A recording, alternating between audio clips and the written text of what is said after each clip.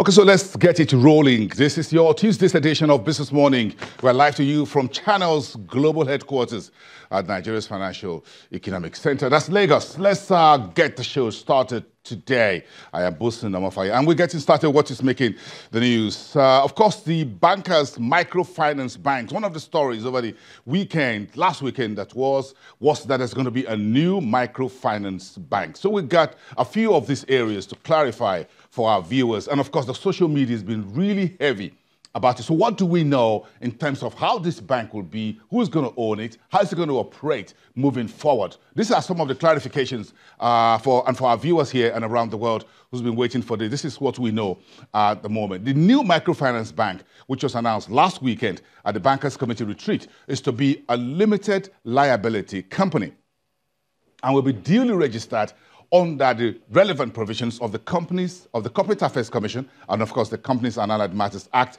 It will also be licensed by the Central Bank of Nigeria as a microfinance bank, a national microfinance bank. That's the license that this will get. Now, what this means is that there will be three major shareholders of the new National Microfinance Bank. Uh, it's called national, not because that is be the name when it gets started. So we need to clear that. Uh, it's just called national because it's going to have a national license. So being called a national microfinance bank does not mean it's going to be owned, and it's not owned by the federal government or, or, or by the Buhari's administration.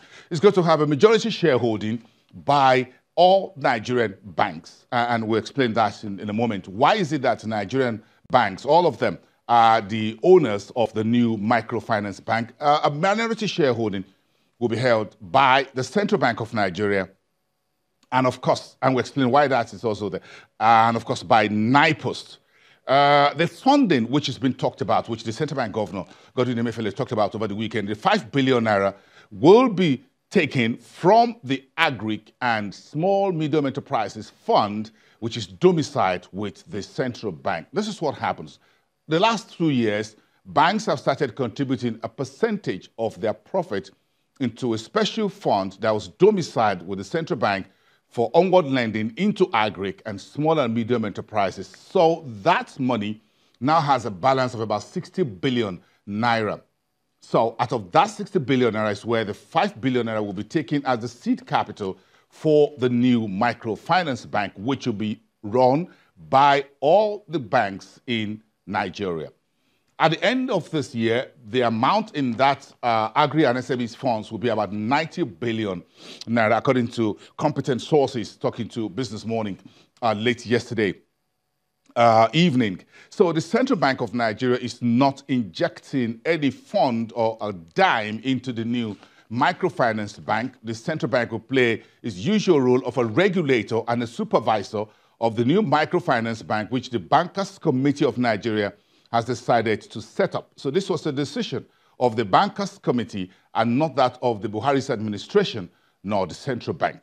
The idea is simple. The bankers themselves find that it's difficult to get funds into the hands of small and micro entrepreneurs. So now they want to do something with their own system and within their own institution, which is the new microfinance bank. So how will it work? The transaction windows, how would you get this fund if you're a micro, uh, micro business? Uh, how will you get it? Uh, you will be getting this money through the hundreds of NIPOST offices where the microfinance bank will have a window uh, from where you can transact uh, uh, this business of micro lending. The disbursement will not be much of cash, and that's what we were told late yesterday evening. It's going to be more of an electronic wallet. So for those who have very uh, uh nasty ideas, thinking they would rob those NIPOST uh, offices, you're not going to get any much cash in there. Of course, sources said no cash. Uh, heavy cash will be domiciled there for anyone to play with. So is going to be essentially an electronic wallet. It's to allow financial inclusion. These offices, which will be like branch offices for the microfinance bank across the NIPOST offices, would also be used to dispense anchor borrowers program, which currently goes through the normal commercial banks. We now have a special window where the farmers and others within the value chain can go across the country and get their funds. The loans will be disbursed at lower interest rate of single digits. Uh, the highest, according to sources, will be the lower end of uh, double digits. That's about 10%. Uh, we hope that clarifies things a little bit. Uh, more as uh, clarity we get, we'll let you have it. So let's talk about uh, the foreign trade third quarter reports, which came out 5 p.m. yesterday, of course, which got a little bit uh, overweighted by the GDP that came out earlier. So what are the details? Uh, let's just uh, get that up for you to look at the highlights of the foreign trade, what you call foreign trading goods, or what you call trade balance report. What's the trade balance for third quarter? This is uh, August uh, sorry, July, August, and September. That's the third quarter. You know that already. Uh, we had a balance of 681.72 billion, uh, 27 billion naira if you balance our import over our exports. But how did it all stack up? Uh, give us a minute or two to, to run this down, folks, uh, and, and you can take note. Uh, total imports. We imported a total of goods worth 4.172 trillion naira in the third quarter. That's up 73.8% over the second quarter of this year because according to the uh, National Bureau of Statistics, we imported submersible drilling platforms in August, in the month of August, which was within the third quarter.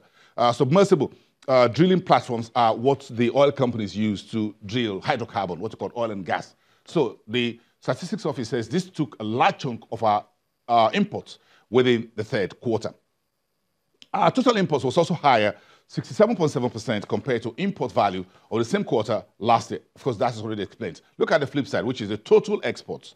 Uh, we exported 4.853 trillion naira worth of goods. That's 7.8% over the second quarter and 35.7% uh, uh, over the third quarter of uh, last year. The total trade came in at 9.03 trillion. You just uh, you can do your math there. What that will be in dollar terms.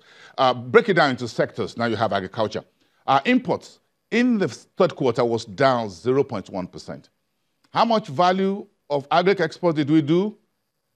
It fell 47.2% over the second quarter. So we imported far, we exported far less agricultural products in third quarter, 47.2%, much lower than we did. So we did poorly in agriculture in, in, in third quarter, uh, simple English. Raw materials, our imports were up 11.67%, our exports was higher 1.63%.